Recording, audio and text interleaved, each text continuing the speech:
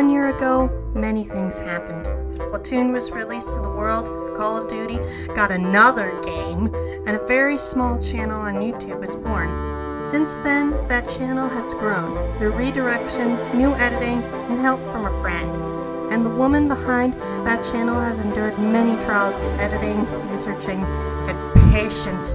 Oh god, not the patience! But even though odds were against her, she still pressed on, hoping that she would find the light at the end of the very dark tunnel.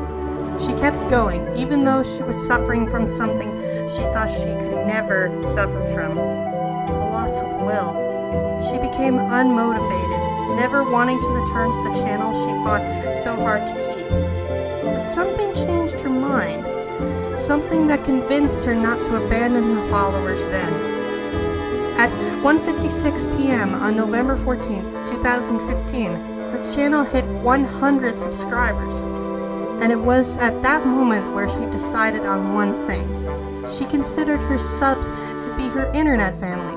And if there was one thing she learned from watching Once Upon a Time every week, it's that family never gives up on each other. With her motivation returned and fresh ideas in her head, she started writing scripts, planning upload schedules, and experimenting with extra editing tools she didn't yet learn. Some say she still is figuring out how to change the volume on her audio clips. As the new year came around, she made a big promise to herself, one that she still keeps to this day. She promised that if gaming will continue to change and evolve, she would too. If you're wondering how the story will end, it won't. Come on, what do you think this is? A fairy tale? Well, it isn't. Because I can guarantee you that this Ashley person will continue on to the next year, no matter what tunnel she goes into. And maybe, just maybe, she might finally get on level with all of her friends that have helped her along the way. So, don't fret. Trust me on this. Because I'm Champion Ashley, and if I could describe the last year in two words, I would say the beginning.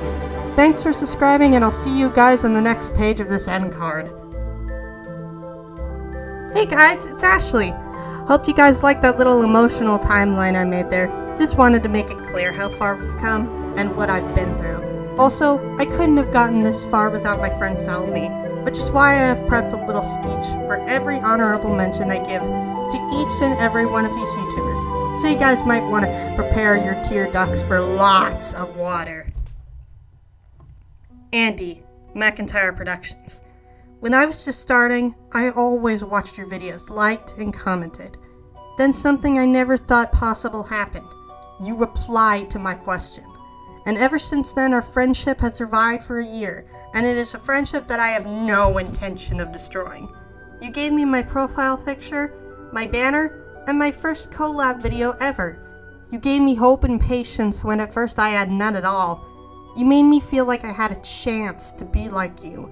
And now, thanks to you, I do have a chance. And no words that I know of can paraphrase what I'm about to say now.